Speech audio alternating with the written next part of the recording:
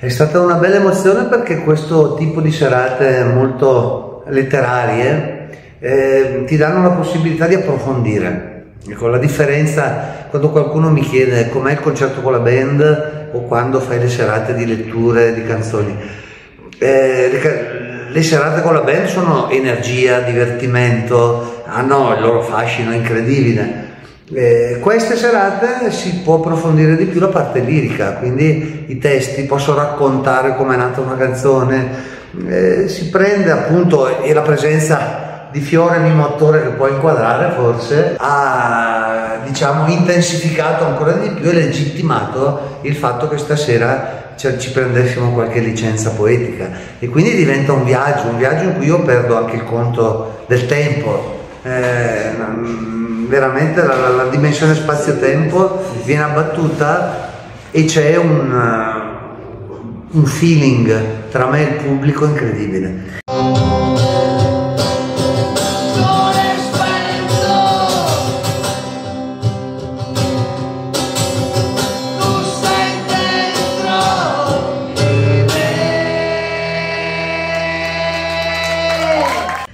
Potresti essere il testimone d'eccezione del rugby sound perché eh, sì. il tuo rugby, la tua musica e il concetto di amicizia insieme, dobbiamo sì, dirla sì. questa cosa. Infatti sono felice che abbiamo chiuso con un saluto agli amici del rugby sound e un saluto anche alla squadra eh, di, di, rugby e, mm, e poi abbiamo ricordato Valerio, un amico che ci mancherà tantissimo che appunto è stato tra gli ideatori e tra i primi e che nel 2019 mi ha chiamato per fare a Rugby Sound proprio tutto Viaggio senza vento. Eh, quindi una serata indimenticabile, un'emozione eh, fantastica, un pubblico tra i più belli, proprio quello che io chiamo il pubblico rock.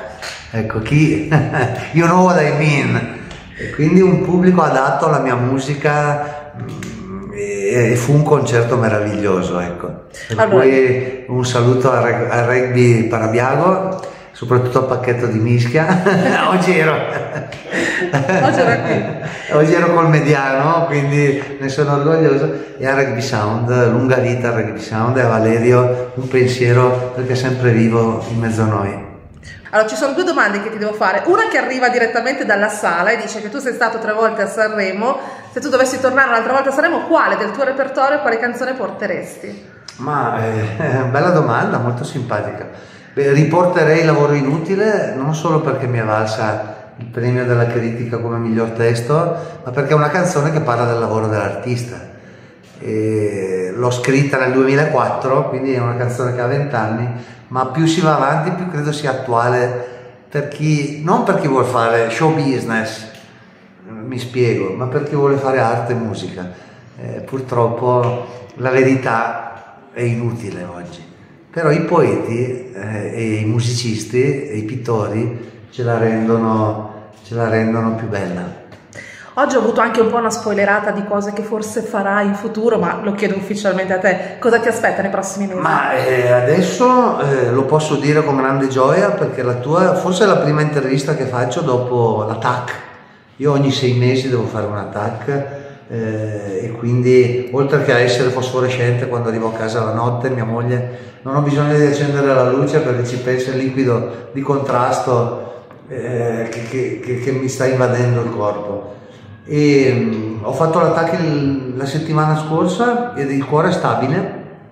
Mi hanno dato altri sei mesi quindi posso prolungare questo tour d'addio anche a quest'estate. E verrò ricoverato a fine anno. E quindi questo saluto al mio pubblico perché appunto ho annunciato il mio addio al rock. Sarà a fine anno e abbiamo sei mesi di più per salutarci ecco. avrai più tempo per scrivere però Sicuramente, ecco, eh, riguardo alla tua domanda, hai ragione, non ho, non ho esaurito tutta la, la domanda. Eh, rispetto a, a, quello che farò in futuro, la prima cosa che mi viene in mente e spero che anche il prossimo intervento vada bene e quindi di essere vivo e in salute eh, e lucido soprattutto.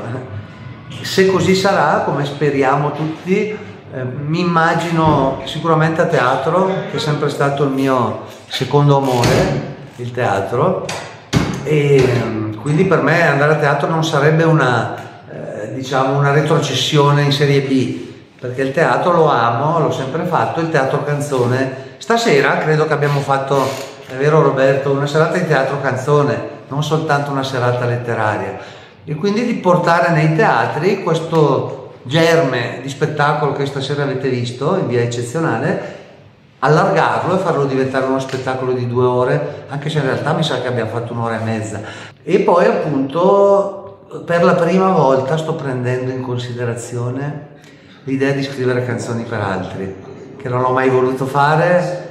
Mio, mio padre mi ha detto che sono un asino, come quando ero piccolo, perché ho rifiutato anche dei nomi eccellenti, ma non perché io mi senta migliore di altri, ma perché sono molto geloso delle mie canzoni. E credo che possano essere interpretate solo da me o dalla mia band per, per quando, ricordando il periodo in cui scrivevo per i Timoria. E adesso che sono invecchiato eh, andrò a fare il contadino in Toscana perché mi sto trasferendo da Milano e tornerò a vivere in Toscana, nella mia terra, e quindi l'idea di fare un po' il poeta, rocker, contadino. Aspetterò tutti gli amici con eh, il fuoco acceso, una bruschetta, il mio olio per renderla magica e il mio vino.